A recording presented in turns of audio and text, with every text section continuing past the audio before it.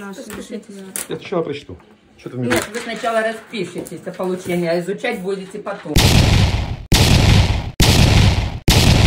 Добрый день, друзья! Сегодня у меня состоялся суд с нашим дачным кооперативом Отрадово.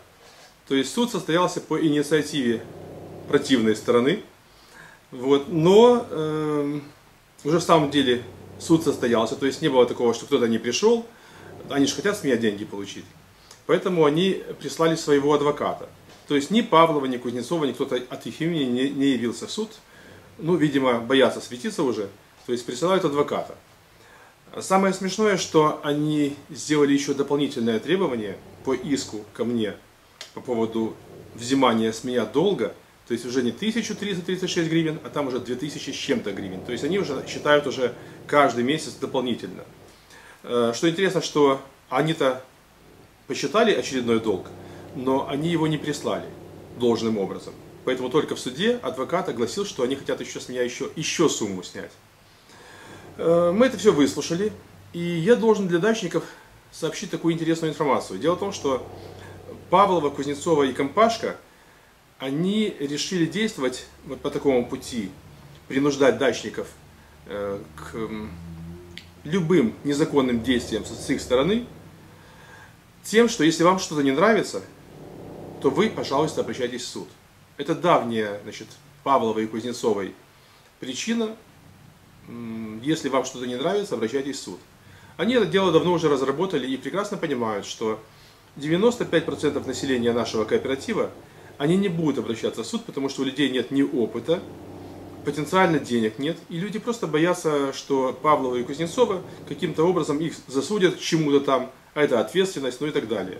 Но не на того напали Павлова и Кузнецова. Как бы уже опыт есть, и вас бояться нечего.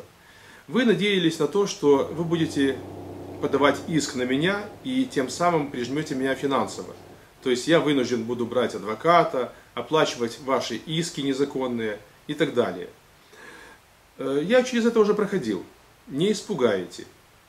Более того, э, вы пре- прекрасно должны понимать, что деньги, которые вы сегодня тратите на то, чтобы на меня нападать, это деньги, которые вы тратите из нашего бюджета, из бюджета дачников.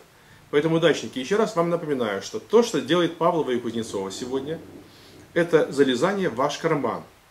И поэтому, чем меньше вы будете платить денег в бюджет вот этому воровскому руководству, тем быстрее мы от них избавимся, потому что у них не будет денег на адвокатов. А что интересно, адвокат, который сегодня был в суде, он выставил дополнительный иск на меня. Там было все. И якобы долг за то, что я не платил взносы. И какие-то проценты банковские за то, что там долг на долг.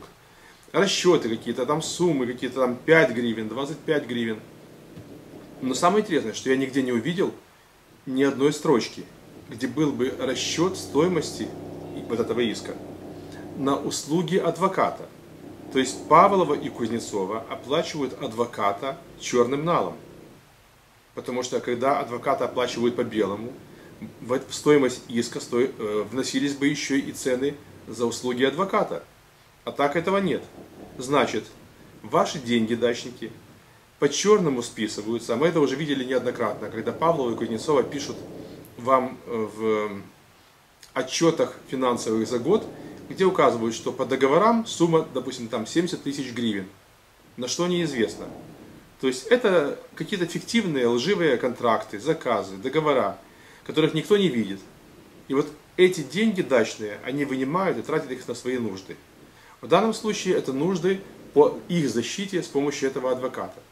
А сами понимаете, количество судов и количество мест, где должен адвокат участвовать, возрастает в геометрической прогрессии. Потому что приближается через э, три дня суд с Кузнецовой в Усатово, в Беляевском суде. Кузнецова, ау, ау, Кузнецова, я вас жду в Беляевском суде. Вы должны туда приехать 9 числа, мы должны с вами встретиться. Вы же мне угрожали шокером, ну так отвечайте за свои действия. Тем более, что у вас это уже не первый раз, когда вы людям угрожаете шокером. А, конечно же, ей нужна тоже какая-то поддержка от имени адвоката. То есть рано или поздно Кузнецову в суд приведут. И, либо она сама приедет. Либо просто тупо проиграет. Но это будет. А то, что сейчас они хотят с меня взять деньги, вы же прекрасно понимаете, все дачники, и все, кто не дачники, должны тоже понимать, что это стандартный прием любого взорвавшегося руководства. Вас привлечь к суду по очень смеш... под очень смешным предлогом. Э, несмотря на то, что сегодня у нас 200 человек должников в кооперативе, и более 70 человек, как я в свое время подсчитывал, имели долги больше, чем у меня. Следовательно, вот этот иск в суд на меня лично, то есть на моего сына, потому что дача на него, это сделан иск, который сделан в виде мести. Поэтому Павлова и Кузнецова ответ будет адекватным. Вы должны к этому как бы уже привыкать. Потому что не бывает так, что вы будете все время нападать на людей, нападать, а ответки не будет. Ответка будет. Это будет и встречный иск, это будет э, апелляция, кассация, все что угодно. Но мы не сдадимся Павлова и Кузнецова. Более того, подумайте о том, где вы будете брать деньги, когда на вас будут личные иски. А они будут, эти иски. И поэтому, а адвокат у вас, я понял по этому мальчику, что он не дешевый адвокат. Поэтому готовьте денежку, а дачники, не давайте им эту денежку. Вас никто из кооператива не изгонит, потому что правление у них сейчас не работает. Собрание ближайшее вряд ли они соберут. А если соберут, хуже для них будет. Поэтому сегодня, что было на заседании, в связи с тем, что Павлова и Кузнецова через своего адвоката подали фальшивые документы, они явно фальшивые, эти документы есть у меня на руках. Адвокат наш потребовал, чтобы они представили по этим вот заседаниям правления, по э, сборам нашего кооператива, реестр тех, кто голосовал и присутствовал на этих правлениях и э, сборах кооператива. Поэтому суд назначен на 22 число. И вот их адвокат должен принести эти реестры. Не принесет, хуже для них. Принесет, еще хуже для них. Потому что явно, дачники, приготовьтесь, приготовьтесь к тому, что вы увидите в этих реестрах фальшивые ваши подписи. И люди прекрасно помнят, что у нас, кажется, 19 год, там якобы было э, в доме офицеров собрание, на котором по их спискам там был какой-то мизер людей. А потом они делали якобы собрание в интернете. А потом они делали по телефонный опрос, что нигде у нас в наших документах не зарегистрировано. Поэтому все это, опять же, фальшивые документы. Так что вспоминайте внимательно, дачники, когда проводилось собрание и было голосование, присутствовали ли вы на этих собраниях? Так что Павлова Кузнецова, я думаю, что вам нужно готовиться к э, жесткой койке где-нибудь в зоне, потому что рано или поздно вся, все ваши подделки, они выйдут на поверхность.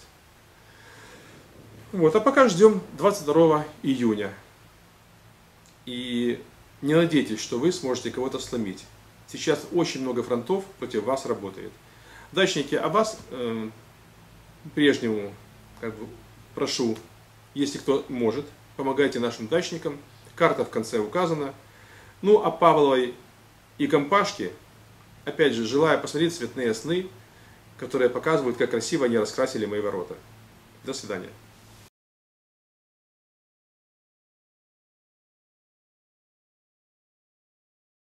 Таких результатов не добивался ни один председатель. Такого никогда в жизни не было.